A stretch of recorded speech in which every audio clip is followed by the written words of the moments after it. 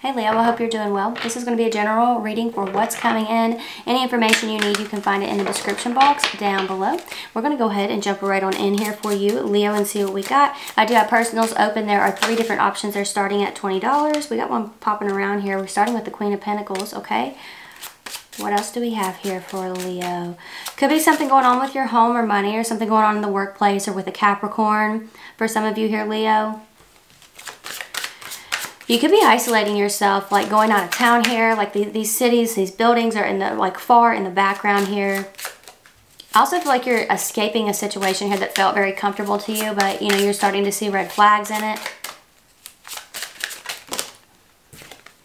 Five of Wands, yeah, some kind of conflict here or argument or some tension. Some tension. Something was kept, like something was kept from you or held back here and I feel like it all came to a head at once or you kept something from a person and it all came to a head at once. You do have the Seven of Wands defensive energy. Yeah, I feel like this caused more issues. Like somebody hid something, it caused more issues, okay? Like they kept something bottled up for a very long time there's a blockage here. Like you're blocking this Capricorn or this air sign, Gemini, Libra, Aquarius, or they're blocking you. Uh, but I feel like you're trying to move on to something to something more now. Okay, I feel like that's what's coming in. Like there's some paperwork or something of that nature. What else is happening here? What else is happening here? There's something being communicated to you for sure.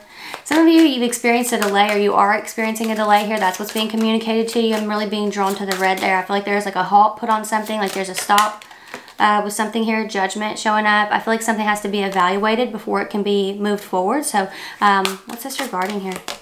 The Nine of Cups could be your environment. So it could have something to do with the home or it could have something to do with like a hiring process or something of that nature.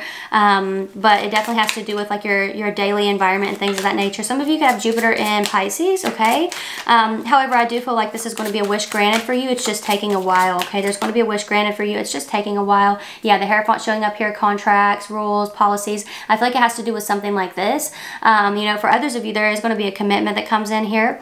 Uh, for some, you may be feeling like you're not going to have a commitment because of some issue that you've gone through here with whoever this was, this Capricorn, this Taurus, Scorpio, Aries, Virgo, um, you know, but the, the Hierophant showing up for sure, there is a commitment here. Now, it may be nine weeks to nine months, okay? Uh, it could take a while before there's something solid here, depending on where you are in this process. Um, but, you know, there, it is coming in for sure. You have the Nine of Swords. Some of you are really stressed out about a living situation. That's going to move forward here. You're going to be getting some kind of information in six to nine weeks there with that. With the Six uh, of Swords, though, it's definitely regarding a move. What's, what else is going on with this? There's something going on in the headspace as well with that Nine of Swords energy. Could be some sleep issues here.